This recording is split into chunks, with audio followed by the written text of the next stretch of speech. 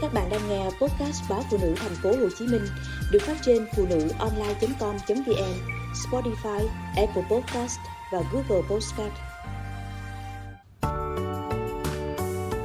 Vợ như đàn ông, chồng như đàn bà.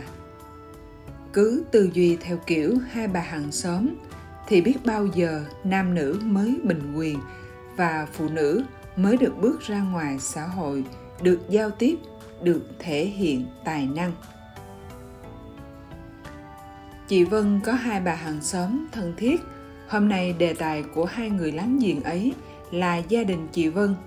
Cả hai bà đều nhất trí rằng ở gia đình chị vân, vai trò vợ chồng bị đảo ngược, chồng làm vợ và vợ làm chồng. Vợ như đàn ông, chồng như đàn bà. Bao năm nay, chị vân không chú ý đến điều này. Do đặc thù công việc, chị là một nữ doanh nhân bận rộn và chồng chị là công chức khá thảnh thơi. Chị phó mặc hết cho anh từ đưa đón con cái đến việc nhà. Ngày Chủ nhật, anh chở chị đi siêu thị, cho hết các thứ vào tủ lạnh rồi hàng ngày anh tự xử. Chẳng thấy anh kêu ca hay than thở, thậm chí con cái lớn mà anh vẫn dành việc giặt xếp quần áo cho cả nhà nói chung anh thuộc kiểu người dễ chịu, hạnh phúc khi được lo lắng, quan tâm, chăm sóc cho vợ con.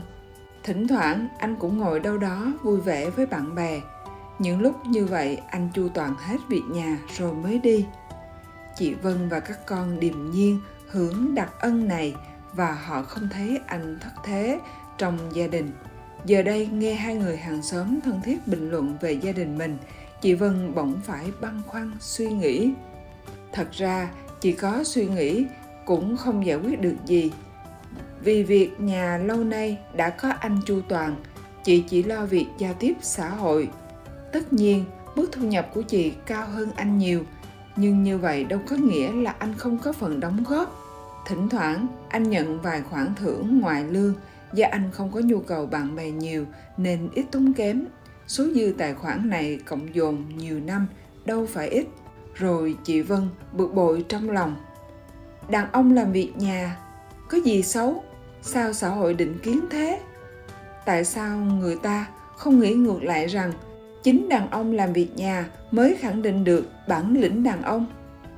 Trong khi đó, rất nhiều người bạn của chị than thở vừa ngập trong việc của cơ quan, vừa phải trần lưng làm việc nhà, trong khi ông chồng rảnh rỗi, xách xe đi nhậu, ngồi chém gió chuyện thiên văn địa lý trên mạng ngoài đời, kinh tế, vĩ mô. Các ông không hề biết con cái hôm nay học hành như thế nào, bà vợ đầu tắt mặt tối ra sao. Chưa kể những ông chồng nhàn cư vi quá, lại xin chuyện trai gái, bài bạc. Cứ tư duy theo kiểu hai bà hàng xóm thì biết bao giờ nam nữ mới bình quyền và phụ nữ mới được bước ra ngoài xã hội, được giao tiếp được thể hiện tài năng với đấng phu quân luôn tươi cười, ủng hộ vợ. Nhiều cô gái trẻ bây giờ không muốn lập gia đình vì sợ khổ, phải hầu chồng, mất tự do. Do các cô thấy từ kinh nghiệm thơ ấu của mình trong gia đình mẹ luôn tay luôn việc. Xong việc cơ quan, về đến nhà là túi bụi dọn dẹp nhà cửa, cơm nước.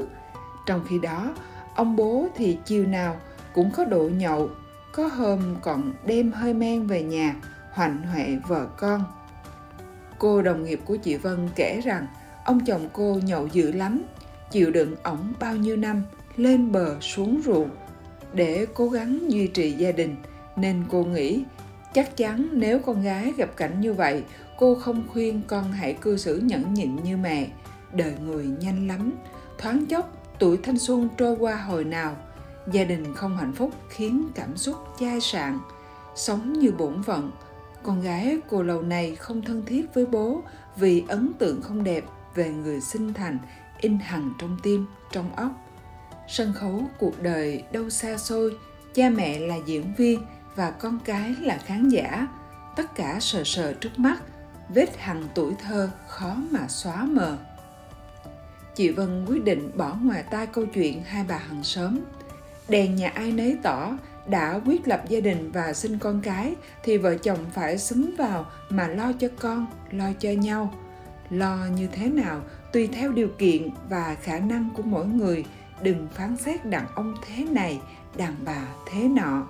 Việc san sẻ gánh nặng chăm sóc gia đình không chỉ là trách nhiệm mà là xu thế của mỗi con người văn minh.